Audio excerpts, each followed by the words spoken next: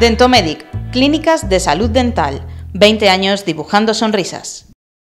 La segunda Feria del Empleo y el Emprendimiento de León llegará al Palacio de Exposiciones el próximo 21 de junio de la mano de la Cámara de Comercio.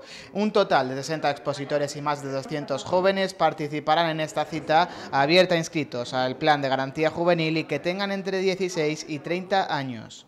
Como Cámara de Comercio quizás sea el acto más emblemático y representativo que hacemos en el año es la segunda, pero para nosotros es muy importante. Es la visualización de la empresa y la visualización del, matrimonio, del matrimonio entre eh, solicitud de trabajo y oferta de trabajo.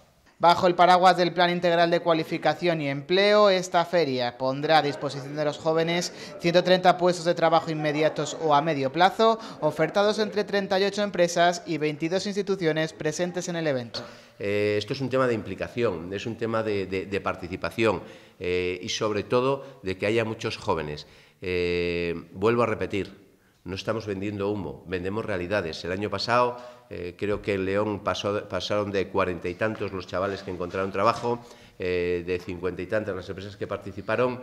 Eh, me parece que es algo que debemos potenciar y que debemos promocionar entre todos porque es bueno para los jóvenes, para las empresas y sobre todo para León.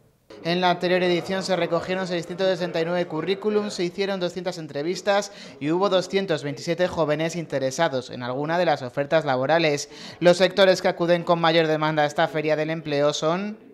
Personal para operación de producción, diseñadores gráficos, gestores de redes sociales, profesores de inglés, profesionales para el sector asegurador, carretilleros, técnicos de calidad, camareros, ayudantes de, de cocina, profesionales especializados en nuevas tecnologías. Claro, eh, eh, es una obviedad hablar de que necesitamos personal para construcción. La oferta formativa también será clave para lograr un empleo. De hecho, desde la Cámara de Comercio se apunta a que 10.000 jóvenes no están suficientemente preparados, por lo que se insiste en potenciar este ámbito.